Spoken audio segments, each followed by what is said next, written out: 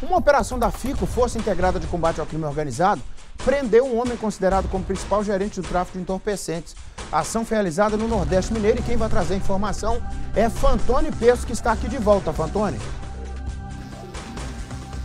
Começo essa ação foi realizada na cidade de Tambacuri, no Vale do Rio Doce, na manhã de hoje, com a participação de policiais federais, militares, a Polícia Penal, também a Polícia Civil.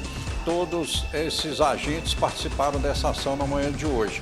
Foi preso, segundo as investigações, o principal gerente do tráfico de drogas na cidade de Tambacuri.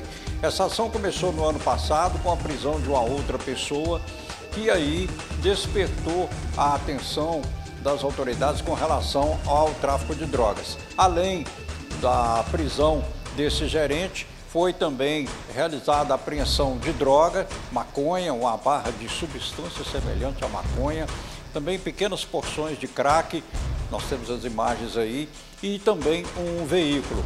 Ah, foram cumpridos, segundo o delegado que comandou a ação, um dos delegados, o Alan Matos, ele disse que mais de 10 ordens judiciais foram cumpridas nessa ação durante a manhã de hoje na cidade de Tambacuri. Logo mais do MG Record, mais detalhes a respeito dessa operação, Nicomedes.